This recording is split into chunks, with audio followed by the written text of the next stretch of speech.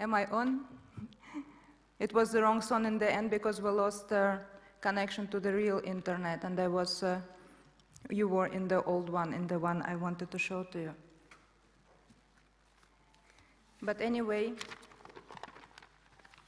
thank you Transmediale for bringing me on stage, and thank you for accompanying me on this short journey through the pages of one terabyte of Kilobyte Age archive archive collection of 100,000 of GeoCities pages. I'll be back into the archive again in the end of the talk. I hope you enjoyed my VJing skills and get a glimpse of how my days in archive really look like. Of course, not amateur, not all amateur pages have music on them, and in general, not all of them are so bright and dynamic. But since this talk got a performance status, I on purpose selected pages that were seen as a performance by their creators, um, that sites that were built to catch your attention, to amaze you with its multimedia performance, to be more than just a page. And another remark I want to make at this point is the sites I'm showing to you are not as old as one can think. Most of them were last updated in September, October 2003, some even later. This is the time period where I am now in my research, in my alternative timeline. It is the end of 2003 right now.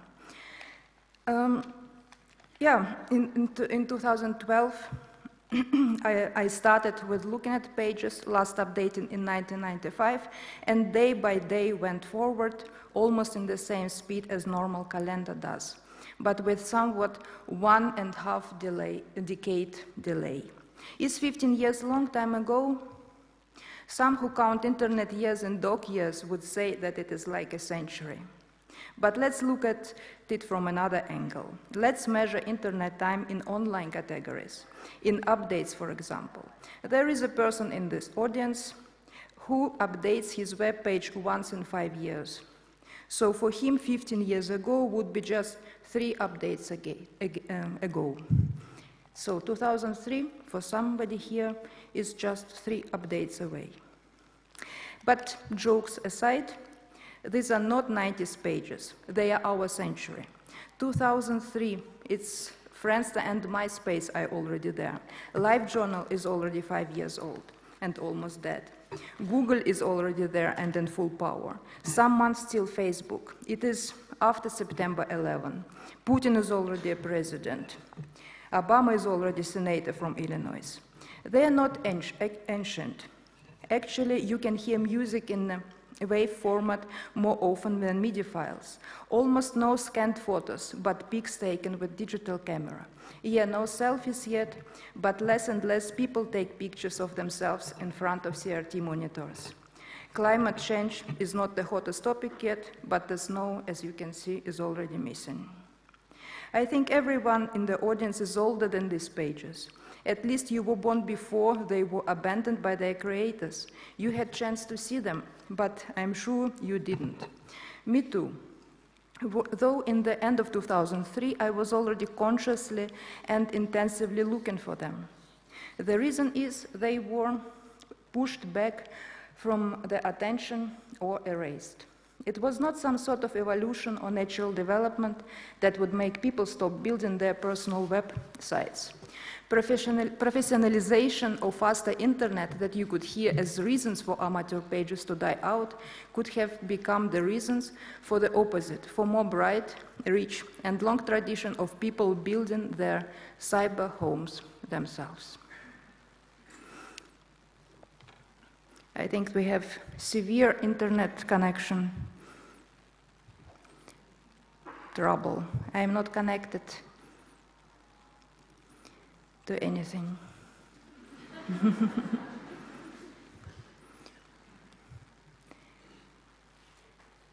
Can somebody help me, bring me back online?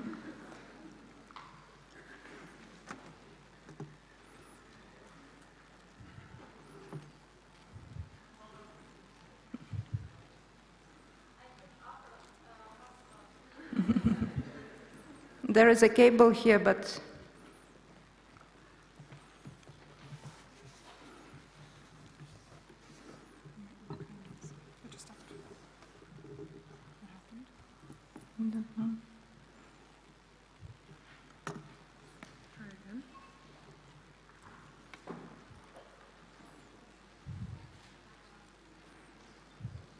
Okay, the part, I can do the part from the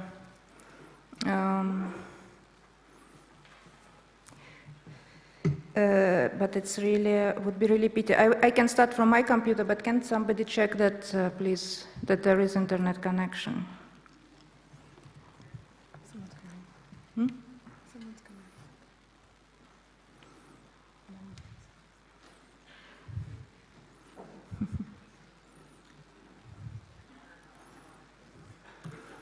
Let's imagine that we're online. At least I made it on my computer. Yeah, so what did I say? For more bright, rich, and long tradition of people building their cyber homes themselves. There was uh, no natural course of events. On contrary, the idea that you should invest time into building your corner of cyberspace was mercilessly suppressed by hosting and server providers and fathers of the internet. Also important to understand that there was no 2.0 moment in the history of the web that left certain content and formats behind, as well as there was no time in the history when building your home was celebrated and acknowledged by opinion leaders. Tim Berners-Lee said more sarcastic words about vernacular web than Mark Zuckerberg and made it as early as 1996, the year we usually see as a golden age of amateur pages.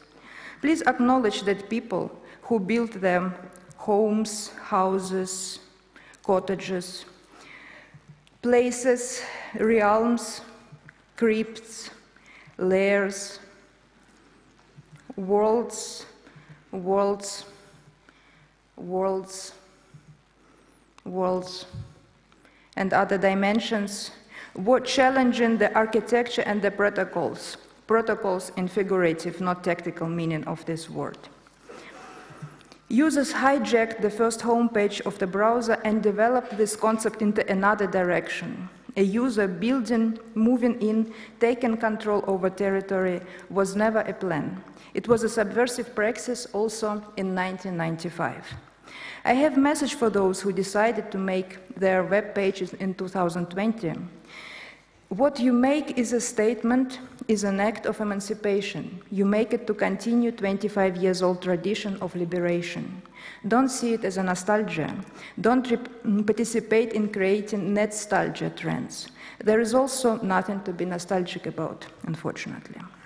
Webmasters and their production were easy target to ridicule, not in the last place because of their style. And professionals, designers, and evangelists really used the chance ridiculing, uh, discrediting, exposing clean styles and templates usurpating the right to make design decisions.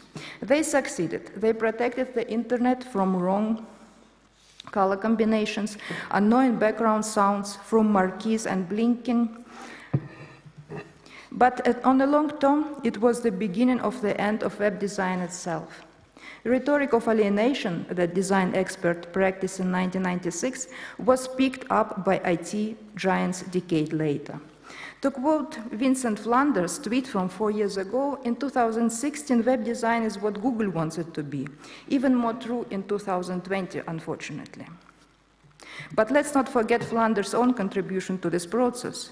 As the author of legendary Web Pages That Suck 1997 and Son of Web Pages That Suck 2002, uh, uh, which was full with articles page by page, where he was humiliating websites that were too bright, too loud, and too confusing.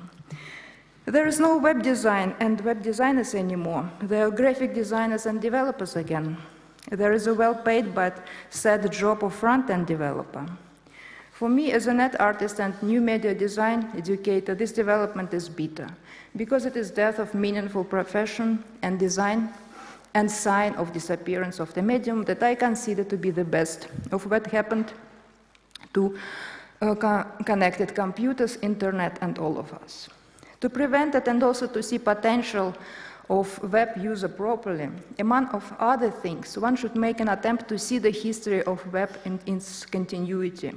Which is not easy task because we're always confronted with revolutions, with binary time before, after, with web 1.0, web 2.0, desktop mobile, flat material. My research is focused on the process and on, the, on web users. I try to tell their history through their relations with the medium. My observations allow me to operate with non-binary categories and distinguish transitions that are more productive and meaningful. For example, the, the history, in my opinion, can be called, can be, can be told, um, written in three U's, from under construction through update to upload. Under construction is building the web, its excitement, its promise. Update is very long story of, uh, stories filled with dramas, stories of love and hate, relations with the web, not having time for the web, trying to find this time, the myth of IRL, update generation or type of websites that live, that have relations with their webmasters.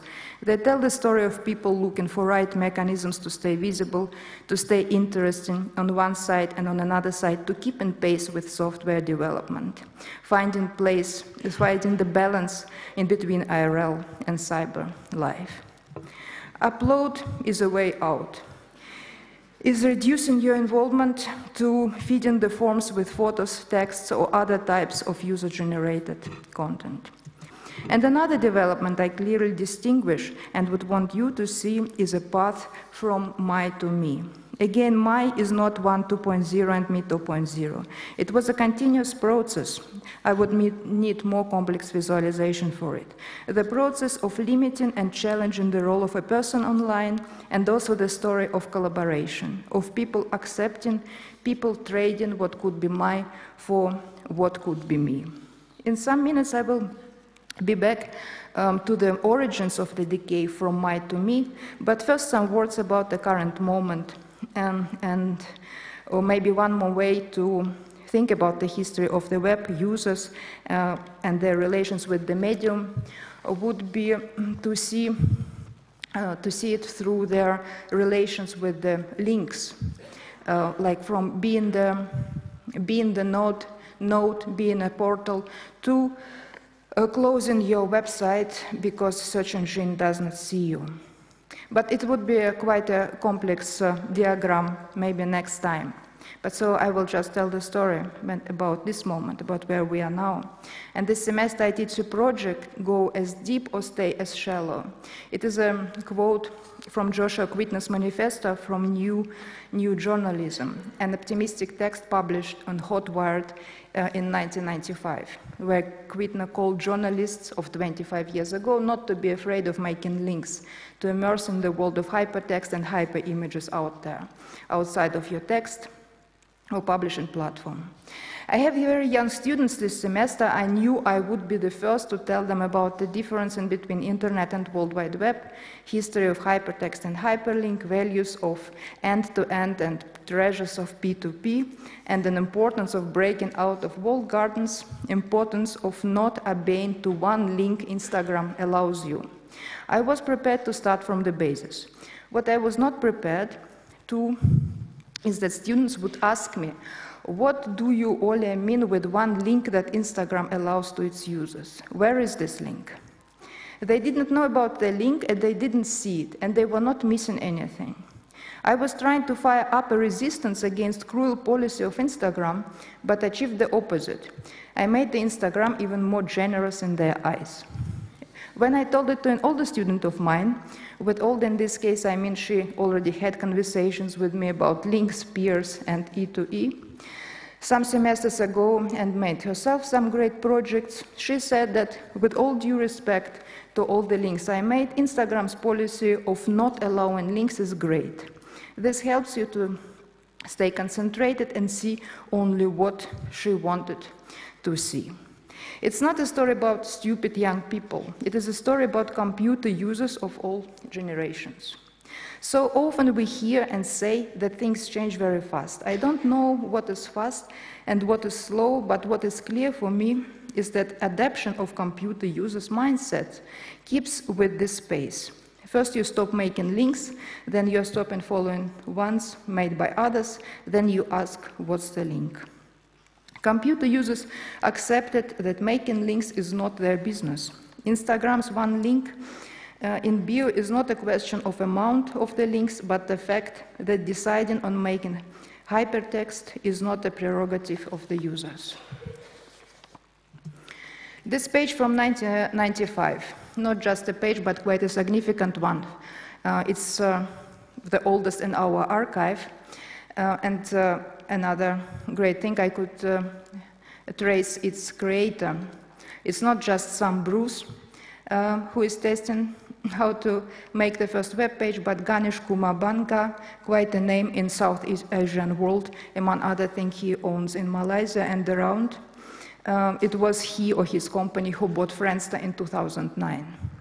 In 1995, he was 16 years old and modified a sample page made by another guy, David Bohnett, founder of GeoCities, who was 40 at the moment, but has maybe only some months more experience with the web than Ganesh Kumar Bangah. The page Ganesh made is almost identical to Bohnett's sample, almost the, same user peak. And this sample suggested to the users signing to this platform that two things are important to be under construction and to have links to other sites on the web. As you can see, users take this uh, call seriously and also outside um, outside of the template, outside of the sample, of course.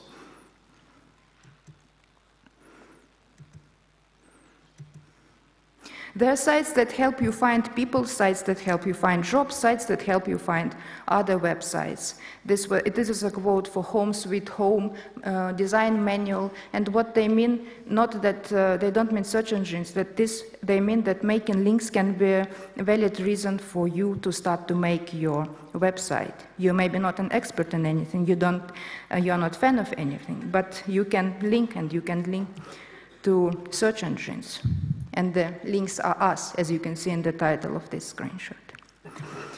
Hyperlinks aren't just a skeleton of the web, they're its eyes, a path to its soul, a path to its soul, Iranian blogger Hossein Derakhshan wonderfully said in 2015 post on Medium. The title of it was The Web We Have to Save.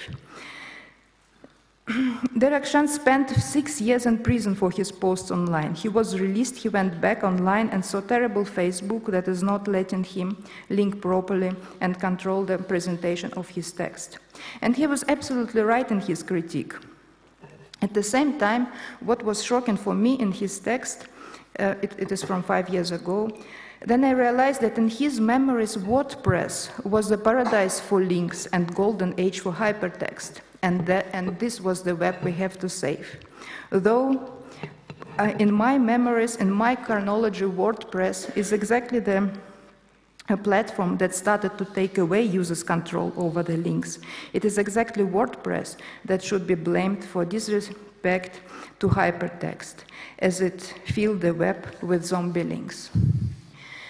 Yeah, we know the answer. The users of pre-publishing tools forget or adapt or accept very fast.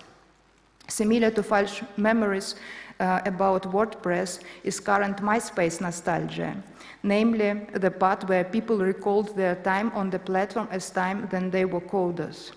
US scholar Kate Miltner presented her research about it last year conference, The Web That Was at Amsterdam University. I could not believe my ears when I heard about it, because I remember in 2007 I did write a lot about MySpace as platform that took HTML source, source code away from the people. But of course, true, when you compare MySpace of, what, of that time with whatever, or even MySpace of today, you say, wow, I was a coder. I could copy and paste glittering text code. I could decide if sparkles are purple or pink. I ask from the audience if in some years teenagers who are now on Instagram will recall 2019 as paradise, as free web, were in place when they were coders. Can it be that people who are on Instagram now will be nostalgic about freedoms they had? Of course, Alex Geka of Instagram University shouted from his seat, Thank you, Instagram, for allowing to upload.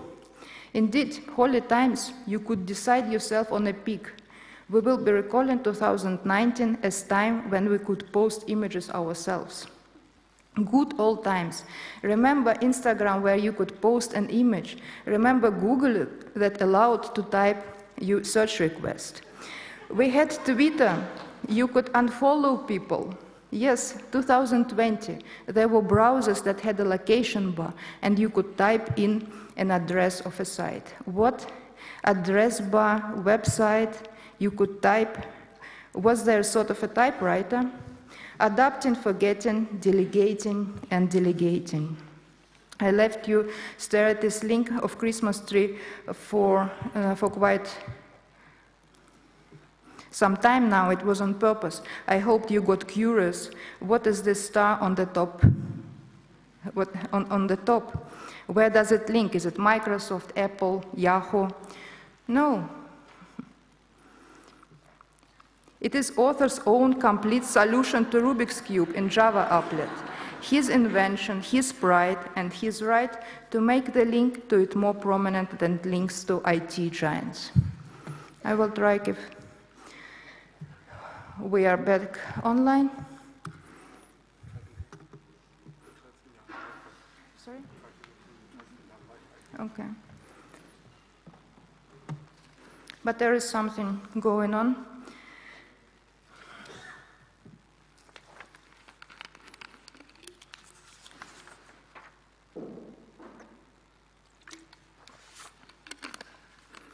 Actually, there should be sound there as well.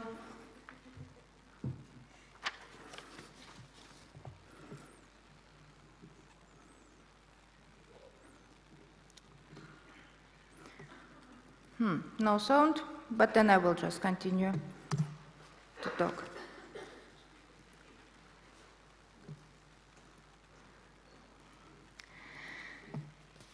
anyway, um, you look now at a selection of uh, uh, doc websites from one terabyte of Kilobyte Age archive. There are 700 of them, some more, other less spectacular. Many made in memory of docs, many to celebrate new puppy. And there are some that found especially stunning. I tag them as doc webmasters.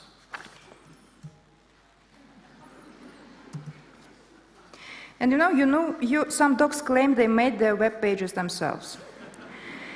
And you people who are older than these pages, you know that it's not true. But for how long this knowledge will be here? Chances that someone ever heard about web page made by people themselves are getting smaller every month. At the same time, chances that your dog, cat, or hamster does not need you to share its pictures and sounds online are getting higher every day. I'm sure that if um, uh, that someone looking at it in 10 years and seeing this uh, screenshot wouldn't be surprised by dogs showing off their pages or posts. Theoretically, some sort of Alexa would be able to do it already today, automatically photographing your pet, streaming it live, translating it, barking into words and whatever. And th that's why I stay here to tell you that these dogs were not dogs but people who spent few weekends learning how to make a web page and it was so exciting and so fun that they also made them for their dogs. People, not dogs, not artificial intelligence, not UX, were making decisions about URLs, links, navigation, layout, color palettes, and content. Webmasters build homes, worlds, and universes, but also outside of, sorry, also outside of intergalactic ambitions. These were their worlds. They strongly push the concept of something being mine. First person possessive determiner my got a very strong meaning. My because I built it, I control its presentation. My interests uh, my obsessions, my competences, my Stephen King, my Korn, my page for Sandra Bullock, my Eminem, somebody else Eminem, my tattoo, my Orlando Bloom, your Orlando Bloom, Martin's Mylène Farmer, Julius John Malkovich, Jacob's pictures of Pamela Anderson. They are Jacob's because he scanned them and put them online. It's my space, my world, my universe for Leo, and my territory without him. This is Patricia's Xena, but not only because she is her fan. It is page about Patricia's dream world where she is Xena. And it is very important dimension of my alternative myself, alternative space where I can be someone else, someone I want to be. Emphasis on my. Um, growing idea that things can belong to person who wrote HTML code or scanned pictures or collected something was unprofitable and dangerous. Today users put a gate or a door on their page and what tomorrow? Sorry, let's stay for. And what tomorrow? Will they think that uh, the files behind them belong to them? Uh, or maybe they get an idea that data is not exposed or sold. Today they change the color of the browser, of the scroll, scroll bar, adapting it to the theme of their imaginary world. And what tomorrow? They can get an idea to install a browser extension or to write one.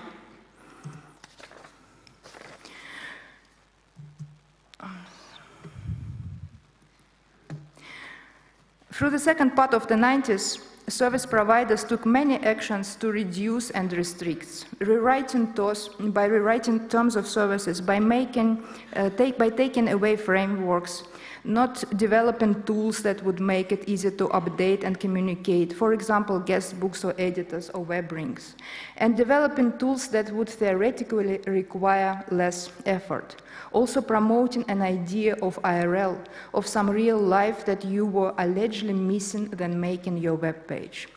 But the smartest and the most effective move the industry made, apart above mentioned measures, was to push people from my to me, to introduce forms that would motivate people to see themselves as the main and then the only content of what they do online. Just me, me. I am me, and there is no one else like me in the rest of the entire world. All about me and more. John, Kevin, Becky, Jake, Jason, Steve. Next to motivation to promote your me that came from manuals and articles that was uh, some that were motivating, there were some smaller, almost technical steps made by providers. For example, personal page blue. Uh, as soon as Yahoo bought GeoCities, they replaced sample pages with templates. It is 1999, personal page blue template is the best known.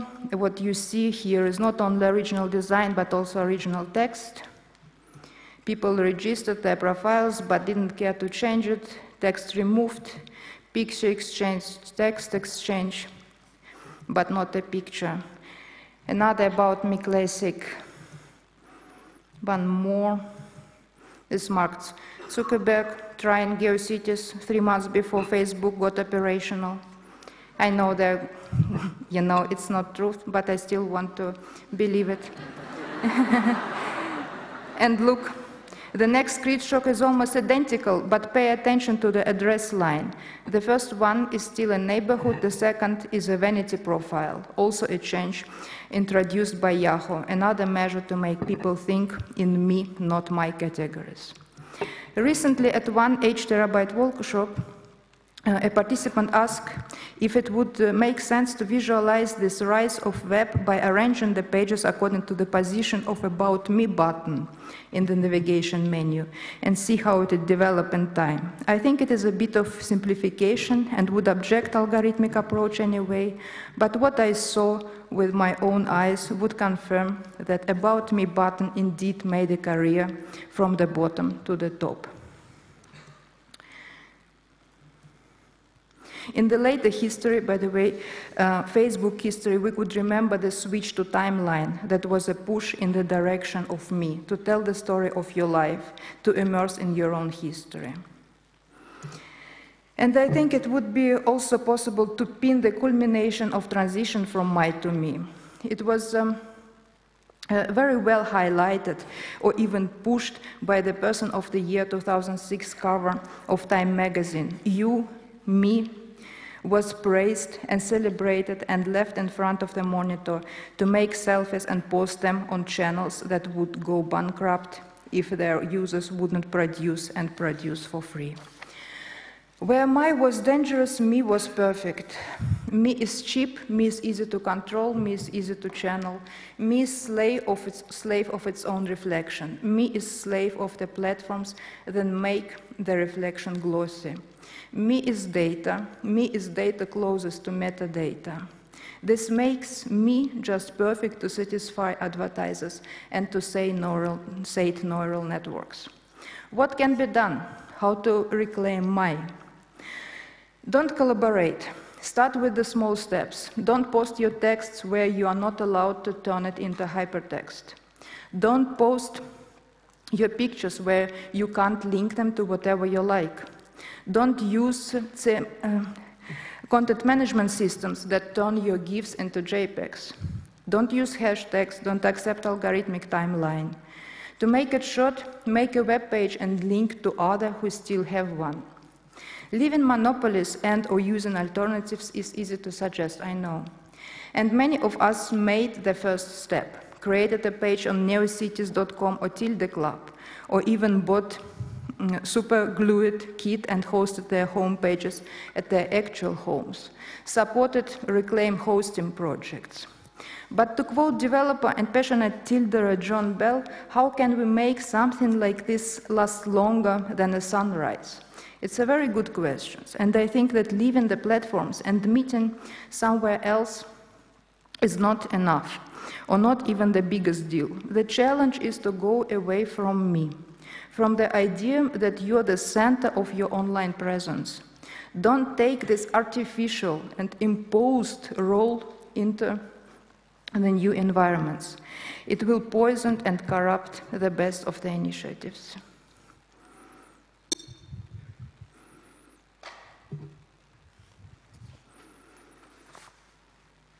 There should be sound now.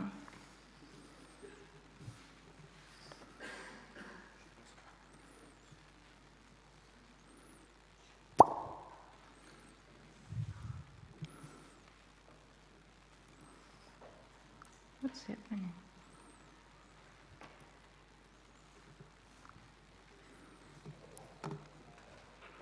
There is sound, but we can't hear it. Is there something I can do to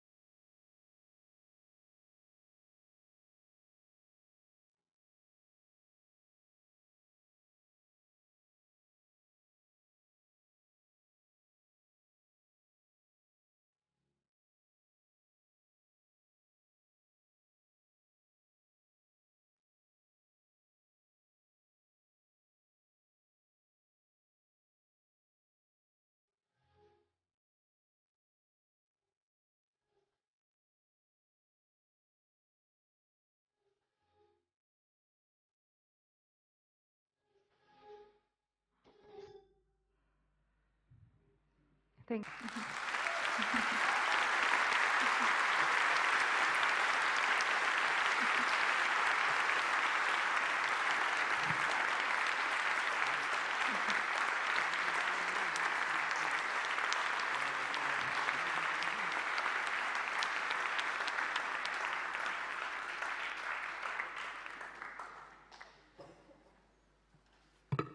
There are no questions, no answers.